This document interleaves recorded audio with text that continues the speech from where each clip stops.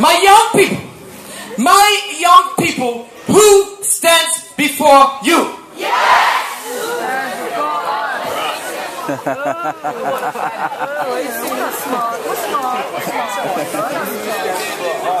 my young people, listen. Pay attention. Because see, if he was playing Nintendo, you would know the axis, you know the O's, you know where it goes. But you can do that. Pay attention. My young people who stands before shout out, yes. Who stands before us? Check. My young people who stands before you? Yes. Man who stands before you is a young man. Everybody knows the Sunshine League, a young man that lived at the Sunshine League. Check.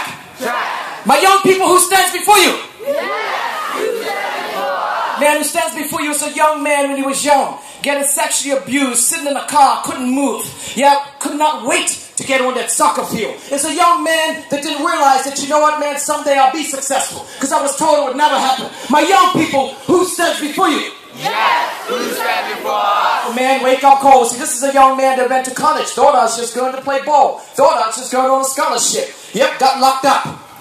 Got locked up. Yeah, for doing badness. Got locked up because I did not realize how important education was to me. I got locked up because I couldn't find my safe place. My young people, who stands before you? Yes, who stands before us? Oh yes, who stands before is a young man that thought he was sharp in college. Man, robbed the pizza guy. Not only did I rob the pizza guy, but I thought I hang down where the street where everybody hangs at. Got shot at. Check. Oh, uh, I'm angry. But work with me because it's about you. Because it's not all bad. See, my young people, see, who stands before you now? Yes. Who stands before us now? Oh man, who stands before you now?